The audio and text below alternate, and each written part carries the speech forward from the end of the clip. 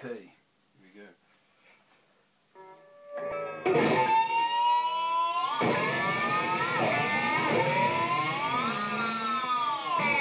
How you doing guys? James Ryan here. This is my Charvel San Dimas USA model.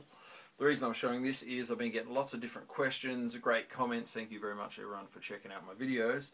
And uh, one of the million questions that I've been asked is can I show off some of my other axes and uh, do a bit of a review or at least talk about and play them whatever. So this is a great American Charvel. They're not made in the USA anymore. They're now made in Japan. Still awesome.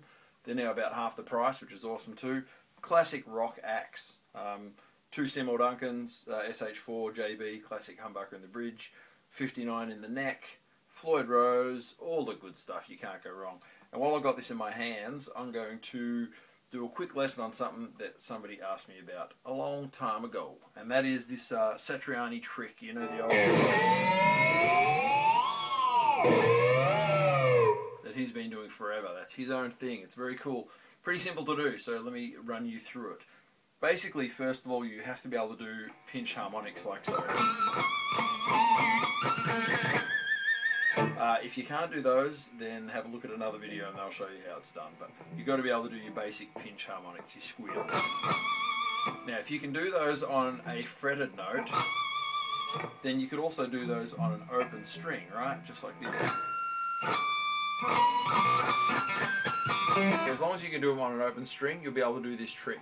So you can do this, check this out, right? You grab the arm, a bit of a Steve Vai kind of vibe here too. If you're doing those pinch harmonics and you go...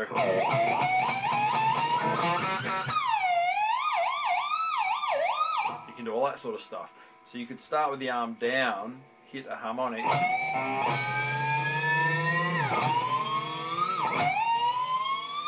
and then bring it up. So that's half the trick. Then what you do to get the Satch thing that's really cool is instead of just getting one harmonic, you rake across the strings and get at least two harmonics, which get a crazy sound. Right, so then you start with the arm down, depressed, you rake across, and grab hopefully a few harmonics and then let it up.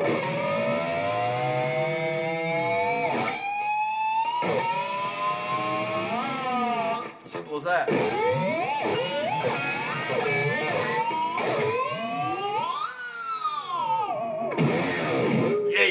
And depending on where you do it, you can get different, you know, higher ones, lower ones, or whatever. So basically, just experiment. And if you miss it the first go, the great thing is you just quickly jump in there and have another go.